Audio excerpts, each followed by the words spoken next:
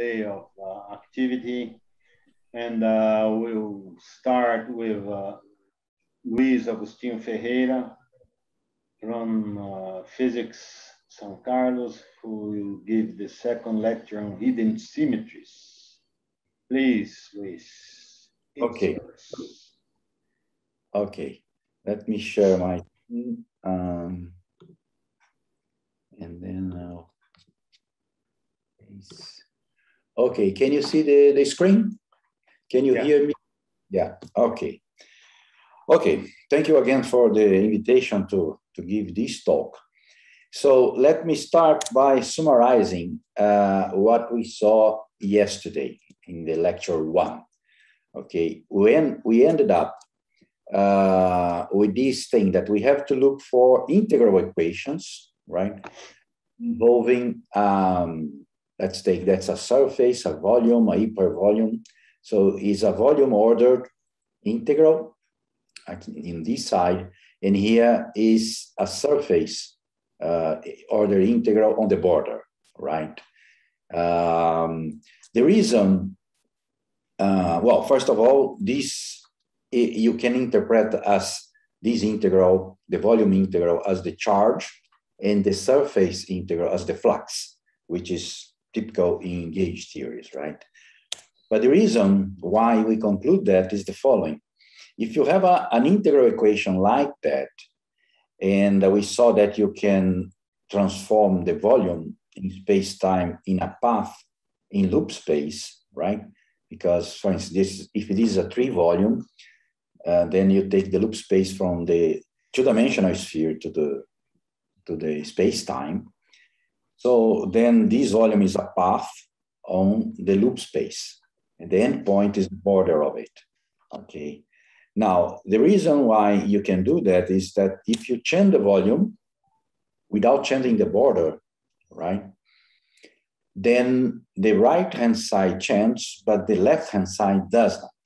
But since that equation is true for any volume on space time, uh, it turns out that this red new integral has to be equal to that one on the border, but that's equal to this. So these two have to be equal. Therefore, if you change the volume without changing the border, this right-hand side cannot change. So you have um, the path independence. And this, as we saw, and you are going to see more detail now, uh, leads to conservation loss. Okay, so that's the idea. So what we need to do that is to construct the non-abelian Stokes theorems, right? So I will start with the usual non-abelian Stokes theorem that was first proven, I don't know when, but uh, from what I know was Arefeva in the 70s, and then there are many other proofs. But I, will give a proof that is the one I we give in the, the paper, okay, which I think is very simple, okay. Uh, the idea is the following. You, you have a one form connection and you construct the Wilson line through this differential equation.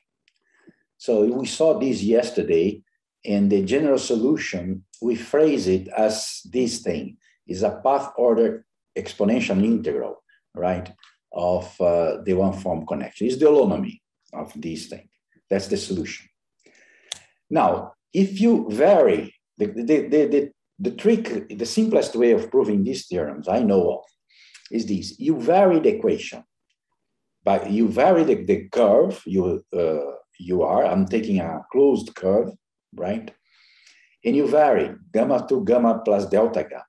And then you vary the equation. And you get a differential equation for the variation of the Wilson line. Okay. You integrate that, keeping uh, the initial endpoints equal and no variation there. So you get this equation where f is the curvature of that connection, right? Uh, so what you can think, do now is the following. You take the surface enclosed by the curve, okay, now I call the gamma, is the border of this surface, gamma, and you scan it with loops. The loops are parameterized by sigma and are labeled by tau. So tau equals zero is the infinitesimal loop around xr, and tau equals 2 pi, let's say, is the border of it. Then you can promote this equation you got by varying the, the curve there by a differential equation for the, the same W, but now integrating tau. So integrating over the surface, okay? So you integrate from tau equals zero to tau equals 2 pi. When you reach 2 pi, you have W for the border, okay? And this, we write it as a surface order integral of this connection. This plays the role of connection now. Like a mu is the connection in the Wilson line. This line, but then uh, we are going to integrate up to 2 pi, so you get it on the border. So you can calculate the, the Wilson line on the border through the usual Wilson line equation or through this surface integral. But they have to be the same. So you get the non-abelian-Stokes theorem, which is this. The, the line integral of the connection is the surface integral of the curvature conjugate with the Wilson line. And this Wilson line here that appears is f mu nu is evaluated on some point of the curve. So is the integral of that equation from the reference point to that point where uh, f uh, is being evaluated. So W goes is integrated from XR up to the point where this F is. and So, but this one is integrated on the whole uh, curve. Okay. So this theorem is the non-abelian version of the usual Stokes theorems we learn in classical mechanics, electromagnetism courses, right? Is this one written in a form, in a one form um, way. Okay. Now that's the, this theorem is the one, that's a mathematical theorem, right? It's true for any uh, connection in mu and its curvature, right? Um, as long as you don't have holes and handles in your space, you have to modify these when you have that. And uh, okay, now we are going to use these Stokes theorems to construct the integral equation because it has the form of our integral equation. So this theorem is relevant for two plus one integral, uh, two plus one field theories, right? So uh, how can you use it to construct uh, conserved quantities? The idea is the following. You take, you scan the surface with loops, then the surface can be seen as a path in loop space, the usual loop space, the maps from the circle to the space time, the omega one that I called last uh, talk, right? So then sigma is this path and the border is the endpoint. So the idea is the same. You vary the surface like a drum, like you keep the border of the, the surface of the drum uh, fixed, and then you vary the surface, right? So this side doesn't change, this should change. But the integral, the, the theorem says it, it has to be true to that one too, because the sigma is the border of sigma prime. Okay, so the theorem holds true here. Then these two things have to be equal. And then you get the disconnection. You can see this integral in sigma on the loop of this quantity w minus 1 f mu w as a connection in loop space. And this connection is flat by construction because it's path independent. And the way to see it is this.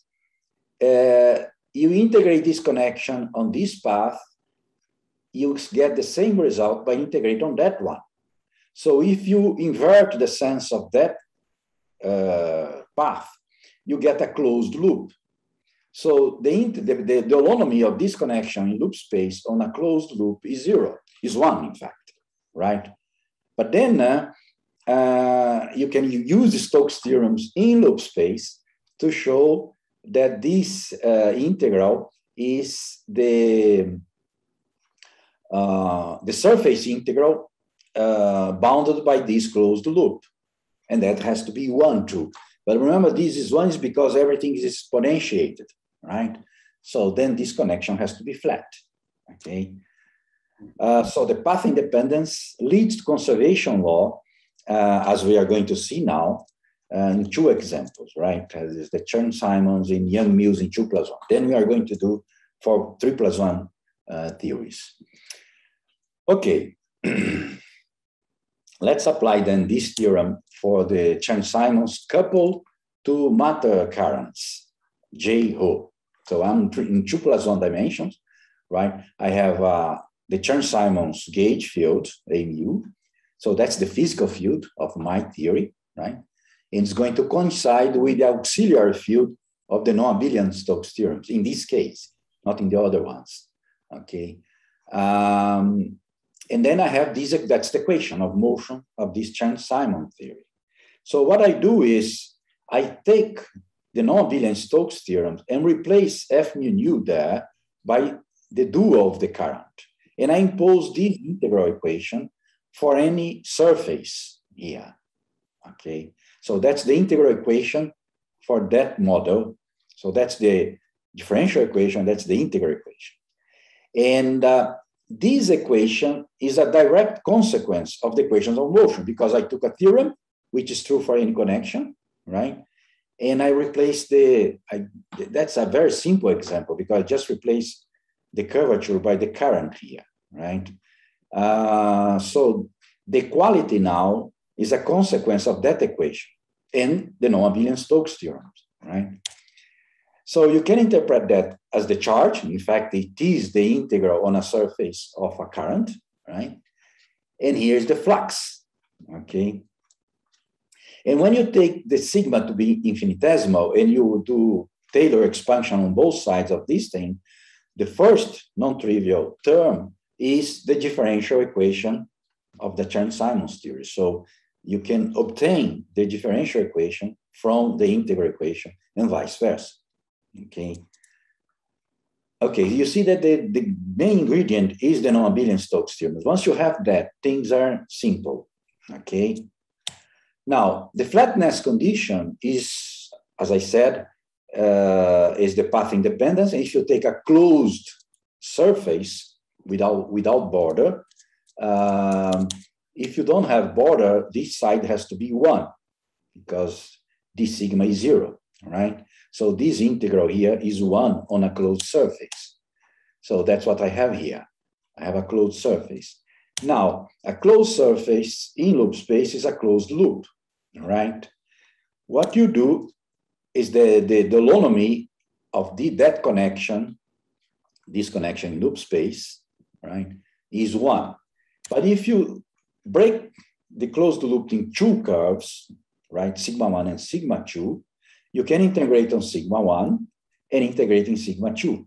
So you, you section that equation into two parts. But then you inverse, you take the inverse of sigma two and put on the other side. And then you get that these two integral are the same. So the integral from here to there and from there to here is the same. So that's the path independence. Now let's look for the construction of the charge in space-time. I have done it eh, to simplify things on um, loop space, but let's come down to uh, space-time. So I'm in two plus one dimension. So time is on the vertical axis and space is on the horizontal plane, right? So I take a cylinder, right? I'll, at the end, I will take this, the, the radius of this cylinder to infinity, right? So I scan uh, the surface with loops as usual. So here is my space in time t equals zero. So I scan it, okay? And that's the surface sigma one. And uh, I, I, what I'll do, since my connection is flat, I can integrate through two endpoints uh, with different surface, right? So the first surface is the one I start from XR, the infinitesimal thing here. I integrate over the, the space, the bottom of the cylinder. When I reach the, the border of it, I rise in time, okay, until I get that border there at time equals t. So my surface starts with this border here there, and the infinitesimal thing here. So is the side of the cylinder and the bottom of it, right?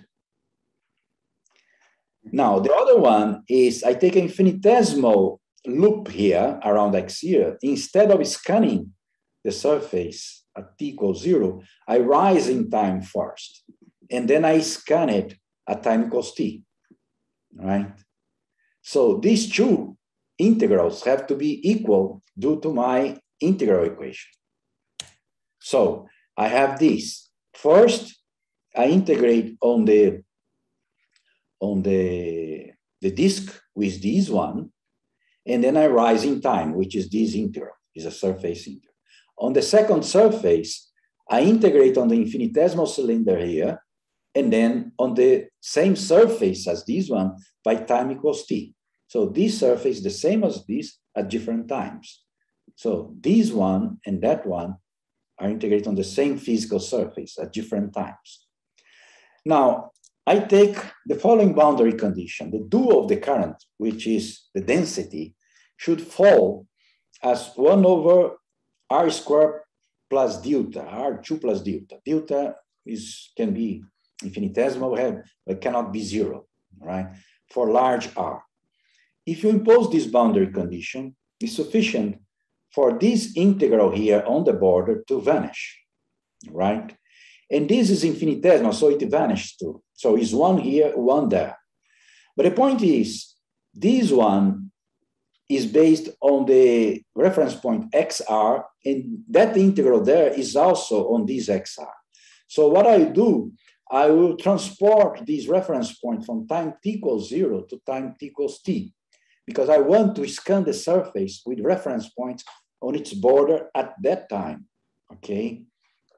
So if I do that, I, uh, I get that the integral time equals t is conjugated by the Wilson line, because when I transport the reference point, it's the Wilson line that transport it, all right? So then I have an isospectral evolution of this operator, okay? And then the eigenvalues of it are constant in time. So my charge will be the eigenvalues of this operator, which is the integral of the dual of the current conjugate with the Wilson line on space, on the space, the R square, right? The plane R2, okay? Which I call it the disk of infinite radius here, right? But my integral equation says that this thing is the integral of the connection on the border, on the circle with the infinite radius at the border of the, the plane. So I can calculate the operator that gives the charge either as a line, uh, a loop integration or a surface integration. Right? They are equal by our um, integral equation. So this is the, the charge of the Chern-Simons theory okay? They are the eigenvalues of the holonomy of the physical gauge field of the Chern-Simons theory uh, on the circle at infinity. If you do this at different times, the eigenvalues will be the same. They don't change, okay? Now, if you go to two plus uh, to Yang-Mills in two plus one dimension, you use the same theorems, but I call now a Cayley graph because the connection that appears on the Stokes theorems won't be the physical gauge field, right? It will be different. Not in Chern-Simon is the simplest example, but it, in Yang-Mills is a bit uh, more involved. So what I'll do, I'll take the one form that appears in this abelian Stokes theorems to be the gauge field of my Yang-Mills theory in two plus one dimension, plus a constant, which is arbitrary, times the dual of the curvature tensor. I'm two plus one, so the, the dual of the curvature tensor is a vector, right? It's a skew vector in time, in fact. Okay, then that's what I take as my connection in the Abelian-Stokes theorem. Then I calculate the curvature of this connection a Cayley graph, which involves these two quantities, and I plug it there, right? And what I get is this, is this integral equation, okay? is the, the loop integral of the gauge field plus a constant times the dual of the curvature, right?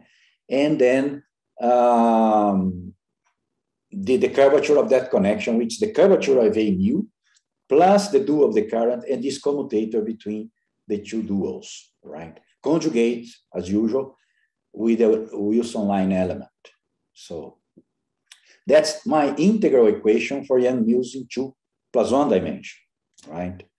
If I take the border to zero, I recover the Yang-Mills equations in two plus one dimension, which is this one, right? Mm -hmm. One follows from the other, okay? Uh, one comment is that this beta is arbitrary. In the Yang-Mills in three, in three plus one, there will be two parameters.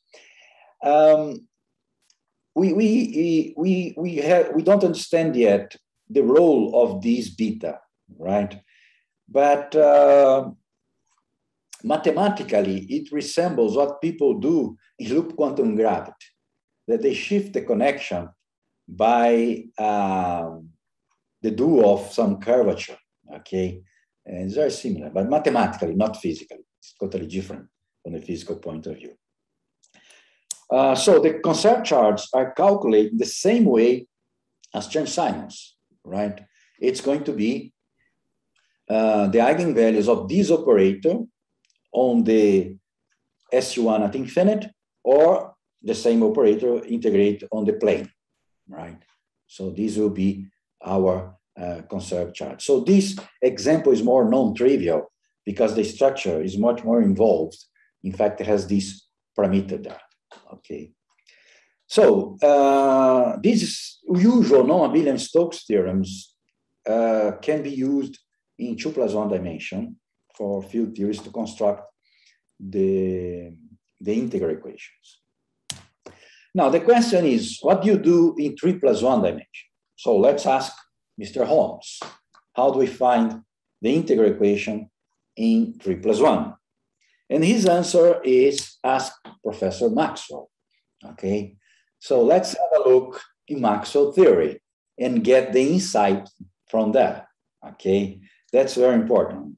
And also it's a physical theory. So uh, I'll take the Maxwell's equation, right? Let's, let's learn how you do it, okay?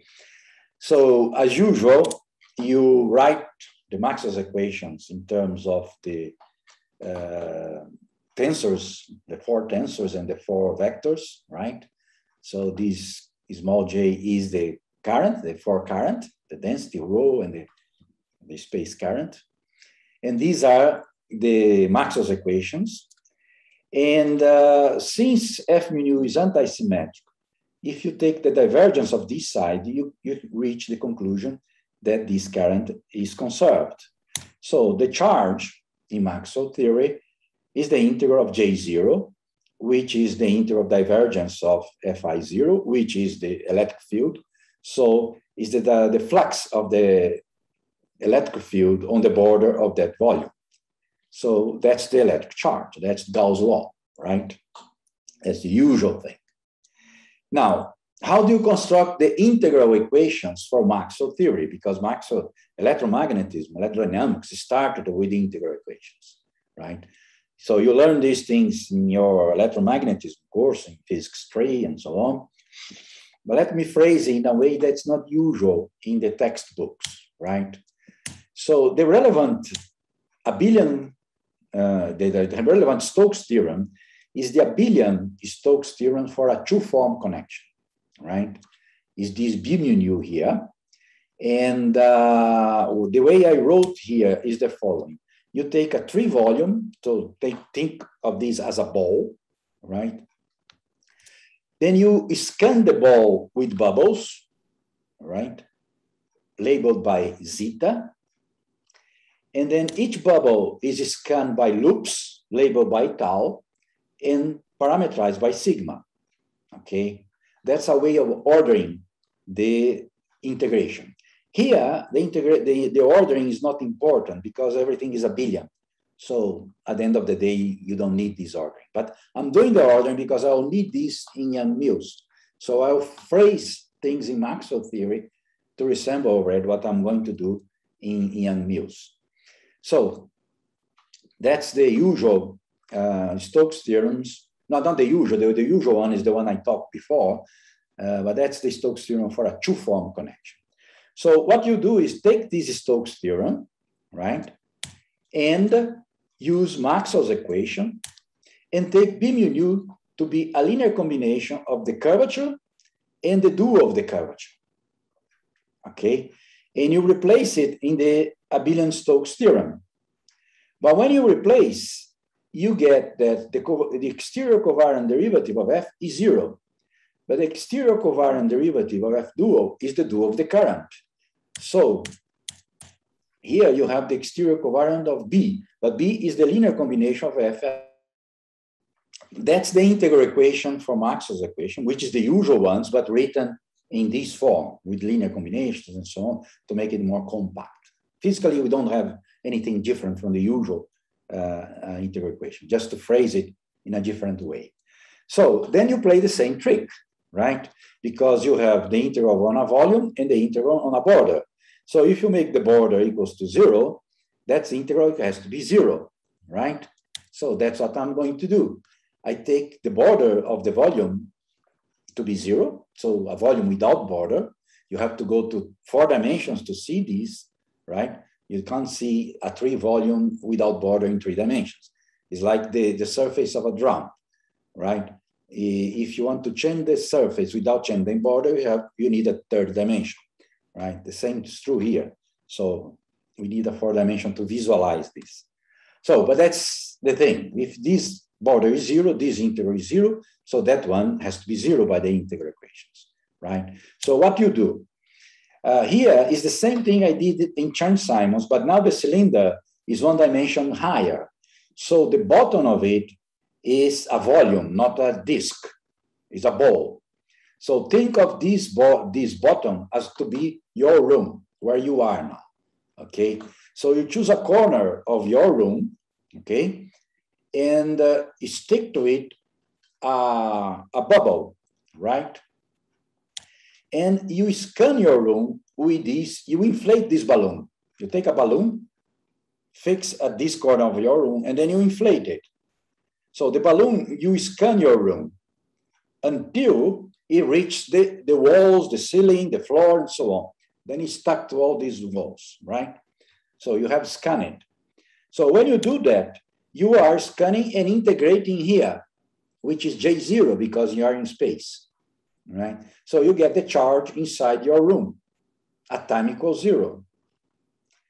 Then you rise, this, this balloon is still stuck to the walls, but now you switch on the chrono, chronometer and then the time starts running. So your room is raised in time, okay? And you integrate. But if your room is big enough, the, the density of charge at the walls is zero. So this integral is zero right? Then the times t equals t, and then you disinflate the balloon. And then you are going to scan your room backwards, right? And the balloon is disinflating. Okay? So you are doing that integral, but in the reverse sense. So you get minus the charge inside your room at time equals t. And when the balloon has disinflated, you come back in time to time equals zero. And that's again is zero. So you get the conservation of electric charge, right? That's another way of seeing the conservation of the electric charge using the integral equations, right? Uh, that's why I'm phrasing all these things just to fix the notation that we are going to need for Yang-Mills, right? So that's another way. Now, the path independence is the same story. You take the integral equation, the volume is a path in this loop space, right, from the map from S2 to N. The border is the end point. The reference point is the initial point, right? And again, you vary the volume without varying the border, and then you get another integral on the right-hand side, which has to be equal to that one because you have chosen the border. And then this connection in loop space, which the integral of the dual of the current, there is no Wilson line here because everything is abelian, it's flat. right? Because it's path independent, okay? So this thing is zero because it's abelian. So the commutator term of that connection loop space vanishes because it's abelian. And the exterior derivative in loop space is Maxwell's equation that comes from uh, action principle, not the Bianchi identity, is this one, okay? So the flatness of this thing in loop space is a consequence of Max Maxwell's equation. So you are phrasing the loss of electrodynamics in terms of a flat connection in loop space. Okay, so you can say that Maxwell theory correspond to a flat connection in loop space. What you get with this? Nothing, because Maxwell theory is completely solved. There is nothing new physically to be done. But it's another way of looking at it, which will be relevant for Yang-Mills. Okay, that's what, what I'm saying. Okay, so that's what Mr. Holm told us. Learn from uh, Maxwell's okay theory. So you are just rephrasing things here. So let's go to Yang Mills. That's what I have promised you to do. So uh, I'm talking about the Yang-Mills itself, right? Without supersymmetry, but with matter currents. So these currents can be the spinor currents under transformed under some representation. Right? In QCD, these are the quarks and the triplet and the antiquarks and the anti-triplet. Or if you take the Weinberg-Salam, this is the doublet of the left-handed fermions in the singlets of the right-handed fermions, right? And the Higgs field, you can have scalar fields too here added to the currents, right? So these currents contain everything, okay?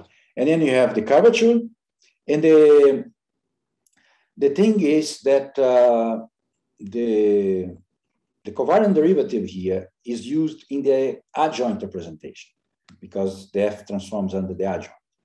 But there is one thing I want to call your attention. The spinors transforms under any representation of the gauge group. But when you write the currents that appear in this equation, it's a Lie algebra element because you get the generator TA that makes the current JA, J mu A, but you contract with your generator of the Lie algebra, then it becomes a Lie algebra.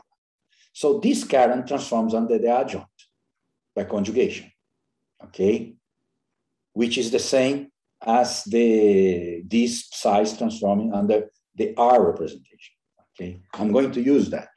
The currents, when written in terms of a Lie algebra element, transforms by conjugation, okay? That will be important in our calculations. So uh, a comment about the conserved charge of Yang-Mills theories that you find in textbooks, right? What you do is the following. The, the Yang-Mills equations are these, that's the Bianchi identity, right? And that's the Yang Mills equation itself. So what you do, you take the commutator term and pass to the right-hand side, and you are left with the ordinary derivative of f mu nu, right? Uh, so what you have, that's the Yang-Mills equation with the commutator put on the other side. And I call that small j. This small j is not, the, is not the matter currents. It's just the divergence of f mu nu. Okay. But since f mu nu is um, antisymmetric, like in the Maxwell theory, the divergence of it is zero. So that's how you get an electric conserved current in Yang-Mills. If you take the Bianchi identity, you put the commutator on the other side, you have a J tilde current, which is the magnet current, and the divergence of it is also zero. You can get that to the Noether's theorem too, but it's a bit trickier. It's simpler to get it directly from the Yang-Mills equations, right? So you have two conserved currents.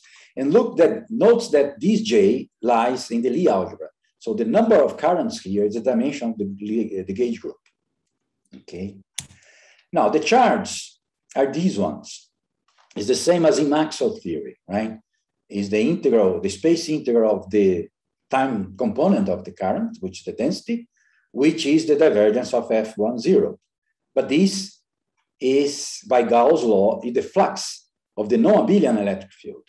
So the number of conserved charge you have here electric charge is the dimension of the gauge group. These are non-abelian charge.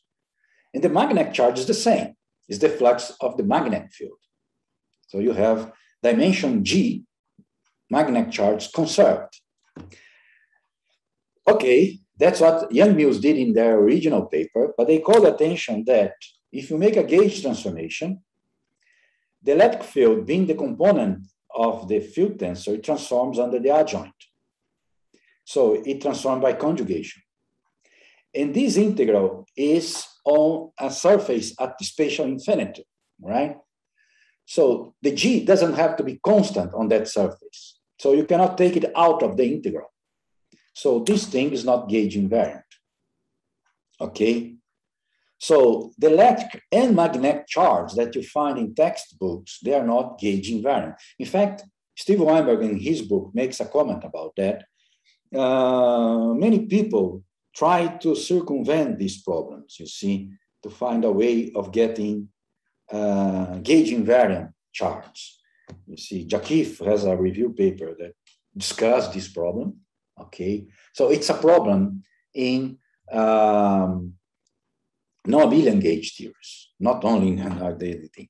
The, the point is, um, the problem here is the same problem that Einstein had when he formulated uh, special relativity. Who cares about it? Because the labs don't move with respect to the other at the speeds close to the speed of light. So you don't have to make uh, transformation from one reference frame to the other, that where this, the, the velocity is that big. So the fastest thing that they had down that time was the trains, which is 100 kilometers an hour at most. So special relativity was not important for the experimentalist, right? And the same thing is here. The, the charge, the non-abelian charge we have are the non-abelian charge from QCD, which are confined, and the non-abelian charge of the electroweak theory, which are shorthand, very shorthand uh, uh, interactions, right? So in the labs, they don't make much difference, right? So, uh, but if you impose G to be constant and infinite, you can take it out of the integral and then G transforms under conjugation, like the electric field. So the eigenvalues are gauge invariant. So you have rank G gauge invariant quantities and not dimension G if you restrict yourself to this case. We have a question. yes, Tiago? Oh, sorry. Luis, but uh, charge conservation comes from global symmetries, right? You have, uh, of course, you have U1 local, but we also have U1 global. And from that, we, we derive charge yeah, conservation. Not That's a good question because, as I said, you, you can get this from Noether's theorem, but it's trickier. And the reason is this that the Noether theorem is valid for global symmetries. When the symmetries are local, there is what they call the second Noether's theorem, that just says that the system has constraints, right? And that's what happens in electrodynamics. So when the, the, the, the, the, the symmetry is local, right? Eh, you have the second theorem that just says that you have constraints. You don't get conserved charge from that. But you can play tricks. That's why I say it's trickier okay, let's make the, the, the, the, symmetry global, forget the local ones and see what we get. You can get this charge playing with the Noether's theorem there if the mathemat mathematicians are not watching you, right? I don't know if that's your question.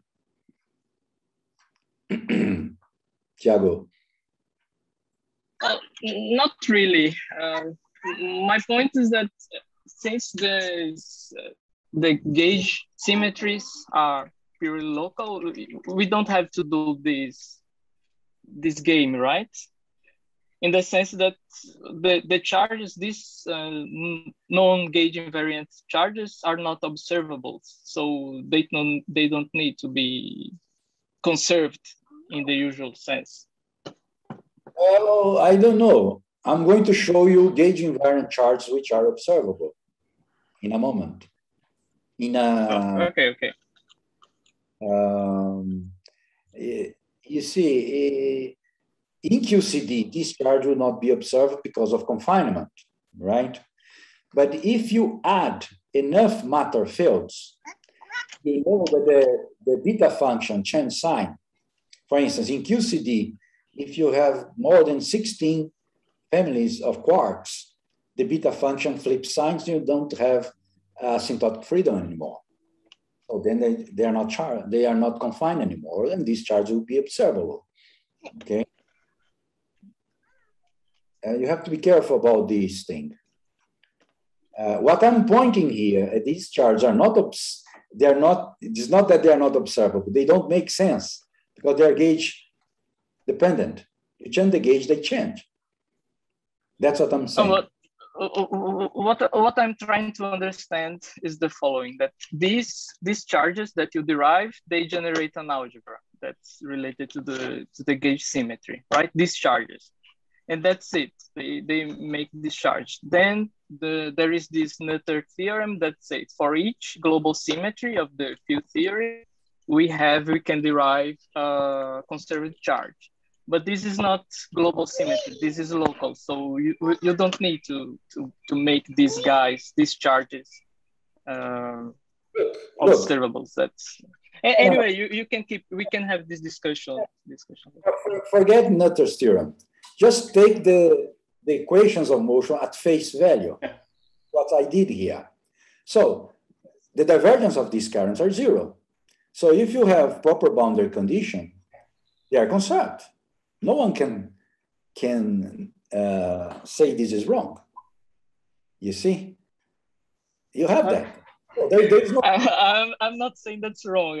I'm just trying to understand the game behind this. What about if we leave this for the discussion? Yes, uh, yes, uh, yes, I agree. We should. Uh, Thiago. yes. Otherwise, Luis is not going to finish in 15 minutes. okay. Now, uh, let's go to non-abelian gauge theories. And now we need a, Stokes theorem. This Stokes theorem is a, like we did for Maxwell's theory, involves a two-form connection. So for a abelian two-form connection, the theorem is known, right? You find it in any uh, books on differential geometry, right? Now, the non-abelian case was not known. So we built this theorem something like 20 years ago, right? And it goes like this. It's the same idea as the usual non-abelian Stokes theorem. You take a surface, because the integral is going to be over surface, not a loop now, right? And uh, you scan it with loops as usual, labeled by tau, parameterized by sigma, and you define a Wilson surface equation here, where you have here the two-form connection, and you have to conjugate it with the Wilson line for a one-form connection. So you need two quantities here, the rank 2 tensor, the two-form connection, and the vector, the one-form connection. So you integrate over a loop, right? And this is my connection for this integral here over the surface. That's the differential equation I impose. Then I got V for any surface by integrating this equation.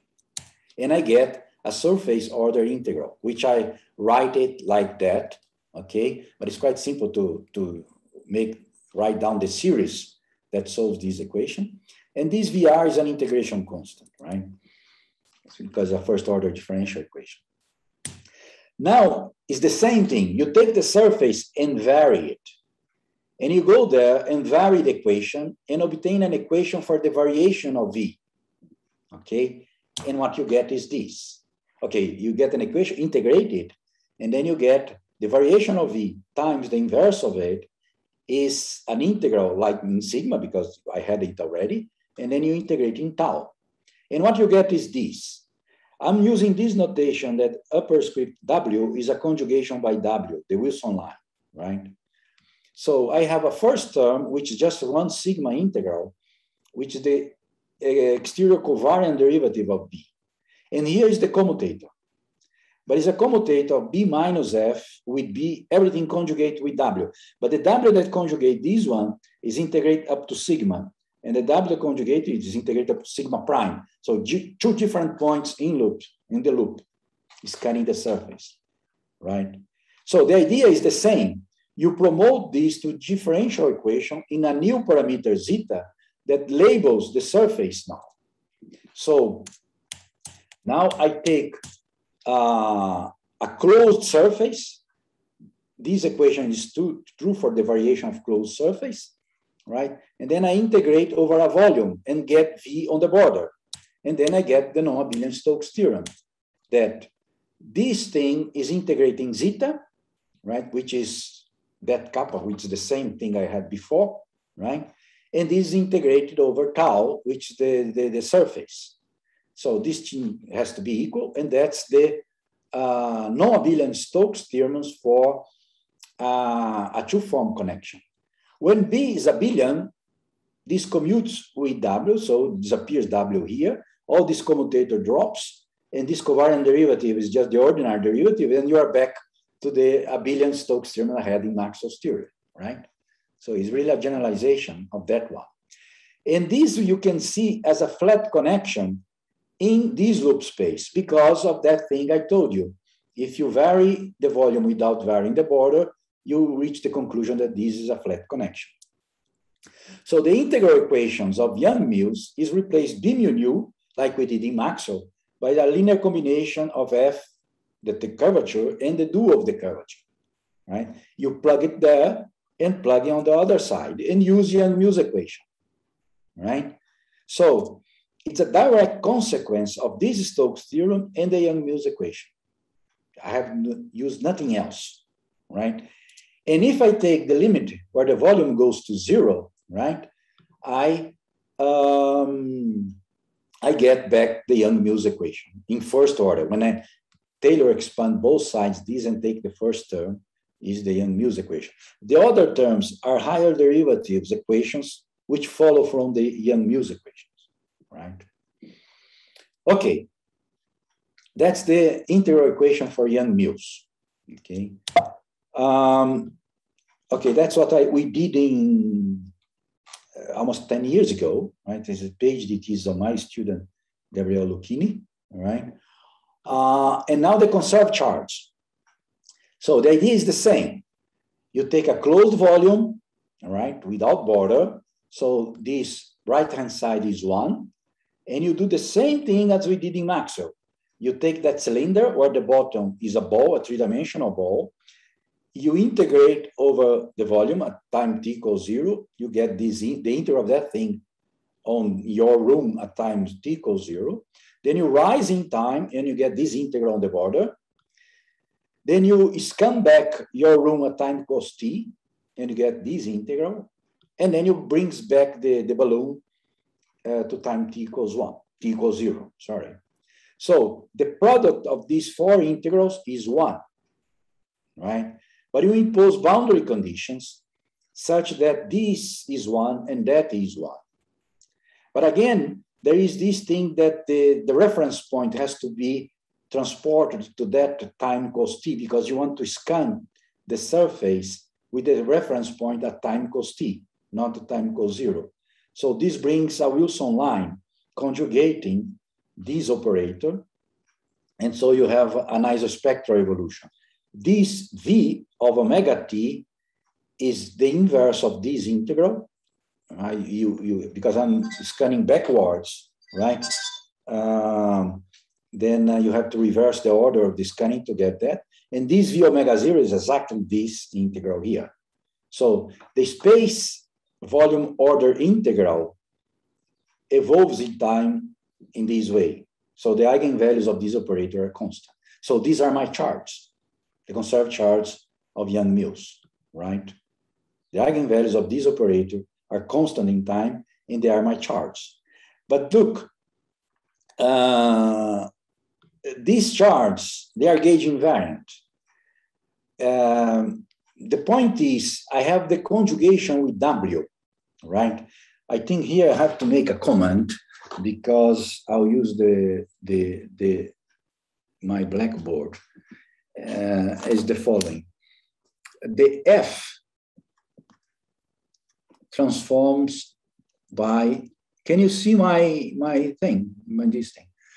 And the Wilson line on a curve, so let's take this XR and that's X. it transforms like this is g of x uh, w g minus 1 of xr. That's like how the Wilson line transforms. Is the g at the end point and the inverse of g at the initial point. So if you take w minus 1 f w, it transforms like g at xr w minus 1 f w g minus 1 xr because um, the g of this w cancels that g and then when I bring back the inverse here, it cancels the other. So I'm left with the g at the reference point. But this reference point is constant in my integral equation. So I hide the local gauge symmetry of Yang Mills in the integral equations in a global symmetry, right? This has nothing to do with Noether's theorem. It's just to make uh, my uh, equation, right, gauging covariant. Because if I didn't have the conjugation with W here, in this integral equation, look, everything is conjugated with W here. And everything transformed on the local thing by conjugation. So all these quantity have a global symmetry, not local ones. Then you can bring back, bring out of the integration this g at the reference point. And then the equation, the integral equation, transforms under local gauge transformations covariantly by conjugation and the element at the reference point. Okay. So uh, then the charge transforms like the operator that gives the charge transforms like this. So the eigenvalues are gauge invariant for any gauge transformation. If it's constant or not at infinite, these are gauge invariant. The number of them is the rank of the group, not the, okay, the number is a point to discuss. I, I'll come, because you have these alphas and betas here, and that's a tricky point. Another thing is that if you change the reference point, this operator changes by conjugation, so the eigenvalues don't change. Now, my connection is flat. So if you change the parameterization of the volume, this is changing the path in loop space. But my connection is flat in loop space, so it doesn't change. So the reparameterization problem that I had before in yesterday in the, my talk is disappeared. Everything is invariant under reparameterization. This is one of the biggest progress that this approach does because everything in loop space that you know of have this problem of reparameterization because at the end of the day the physics has to be independent of reparameterization and uh, that's a problem but which is solved now in a quite simple and elegant way and then you get uh, non-trivial dynamic magnetic charge for the monopoles right? Which, and then, uh, okay, these I, I will discuss in a moment, are the global aspects of things. Now, let me give you a simple example, right? Um, if you take the 't Hooft-Polyakov and Wu-Yang monopoles for SU2, right? Uh, because what happens in my thing is that I can calculate the charge either by a volume or a surface, but this surface is at infinite right? So it's easier to calculate the integral on the surface at infinite. So I need the, the solution at infinity only. And at infinite, these two solutions look the same. I mean, the, the, the gauge field for the 't Hooft-Polyakov and Wu-Yang uh, are the same. Note that the 't Hooft-Polyakov has the Higgs field, the Wu-Yang does not. But my integral equation, coming back here, this surface integral doesn't involve the Higgs field. The Higgs field is inside this thing. It, it appears on the volume integral. So the Higgs field will contribute to the volume integral in the, the, the 't Hooft-Polyakov and not in the Wu-Yang because it's not there. But the surface integral is the same for both. That's an important thing, okay? uh, the surface integral has to be the same for both because the gauge field at infinite is the same. So the magnetic field, or the dual of it, which is this one, is the same. Now, the important thing, and this is very important, right, is that this R is the unit vector in the radial direction. It has three components, but my algebra is SU2, so it has three dimensions too. So I can contract the group indices with the space indices and make this scalar product, R scalar T. Now, if you take the derivative respect to sigma on a loop, right, of this quantity W minus one R squared T, and use the Wilson line equation, right, you get the covariant derivative of this quantity contract with the tangent vector to the loop, okay? But this quantity is covariantly constant at infinite, which is this. You can, it's a simple calculation.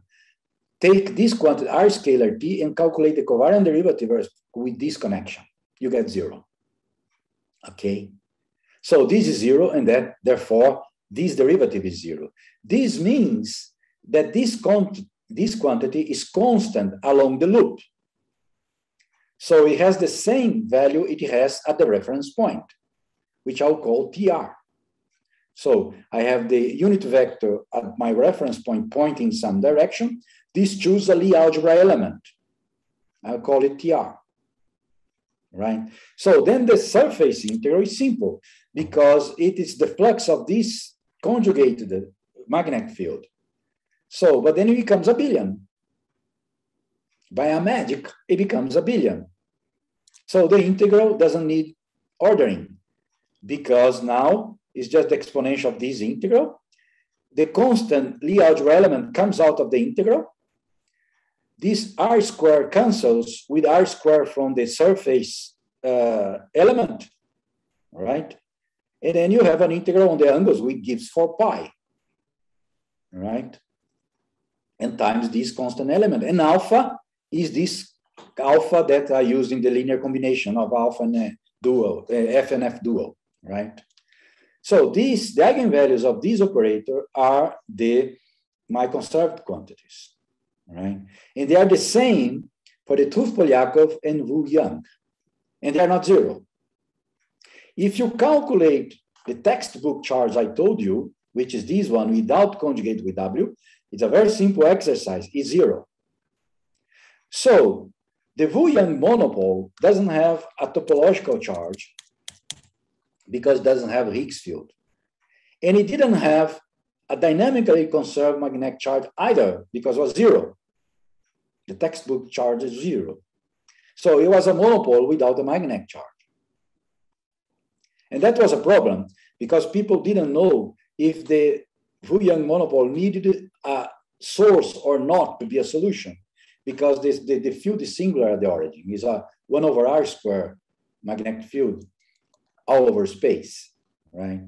Now, the 't Hooft-Polyakov monopole had the topological magnetic charge, which is the mapping from the as the sphere S2 to um, the Higgs vacuum, right?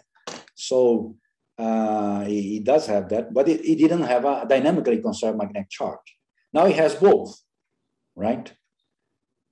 And they are the same because the two monopoles look the same at infinity. They have to have the same magnetic charge, okay? Um, another thing is, um, if you take beta equals zero, uh, and then you are left only with alpha. So the surface integral is linear in alpha here, but it's not the volume. So you get a, a quantity here, which is this commutator when you take beta equals zero. Uh, and this plays the role of a density of magnetic charge for the 't Hooft-Polyakov monopole. So the density of magnetic charge, density of this dynamically conserved magnetic charge is this commutator. So the non-abelian character of the theory is what brings the density of magnetic charge. The Wu-Yang monopole does not have it because this commutator vanishes. I'll come it in a second. Now, so you can read off the magnetic charge from this equation, but if you take alpha equals one, this right-hand side is one. And then you get the quantization of the magnetic charge. So you get a quantization that doesn't come from topology. It's a dynamically conserved magnetic charge, which is conserved, and it's quantized because of the uh, Bianchi identity, the integral Bianchi identity for alpha equals one. Um, so uh, for the Wu-Yang monopole, that C equals zero. And then comes the problem. Now you have a non-trivial flux at infinite and at inside. So it can't be, you see, it doesn't match because my equation is flux equals to charge, but the charge is zero because C is zero. So how comes? So we made a very careful analysis of this thing, right? And we have a paper, which is in JPA two years ago, and the Wu-Yang uh, monopole is not a solution of the Yang-Mills equations. Okay? Uh, you need an external source to make it a solution, and the source is this one. This delta is the radial part of the Dirac delta function, the three-dimensional Dirac delta function. So what appears here is not the Dirac delta function in three dimensions, but only the radial part of it, which is delta bar over r squared. And then appears that funny element, which is r scalar t, and 1 over e, which is characteristic of the magnetic charge, right? So the Bianchi identity is not zero, but it is non-zero in, a, in on a domain of uh, measure zero, zero measure, right? So in terms of distribution theory, in the sense of distribution theory, the Bianchi identity is satisfied because the distribution associated to this is zero. Right? That's a funny and subtle thing that you don't break Bianchi identity in the distribution theory sense, but you do have a source in, in a domain of zero measure. Right? Now, another thing is that I'm running out of time. Um, as I said, you can expand both sides of this equation. And in fact, what you have is an infinite number of integral equations because you have to match the a given power of alpha here with a given power on the other side. So you have an infinite number of integral equations. And you have checked this for the 't Hooft-Polyakov monopole, and this infinite, we have checked up to second order.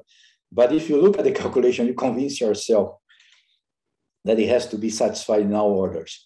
Um, so uh, the equation, even though you have an infinite number of uh, integral equation, the 't Hooft-Polyakov monopole solution does satisfies it. For the Wu-Yang monopole, now you have to use this charge because this we did in 2018, the source of the monopole in 19. So we haven't done this calculation for the Wu-Yang monopole yet. Okay. Now there is a, I'll skip this SU3, you can do it in any uh, gauge group. You can take monopole solution in each gauge group and calculate this charge, right?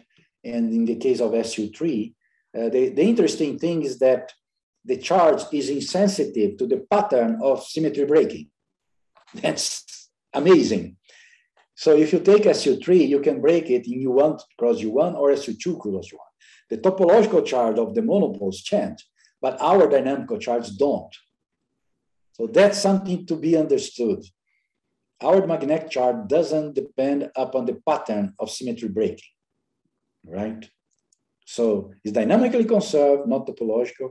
It's quantized and doesn't depend upon the Higgs, in fact, right?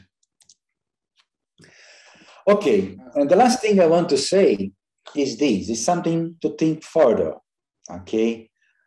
Is the following. Um, as I said, the volume integral, right, uh, is the integral of, uh, it's like a, a three-form connection, like this, the dual, the current, and these things, and is path independent.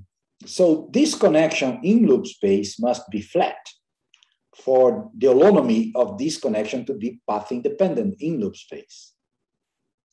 So we can phrase the dynamics of ordinary Yang-Mills theory as the flatness of a co connection in loop space.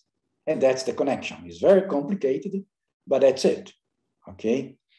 It involves these two uh, um, these two um, arbitrary parameters, right? Which we, we have to understand. But the thing is, in loop space, you can make gauge transformations on this connection.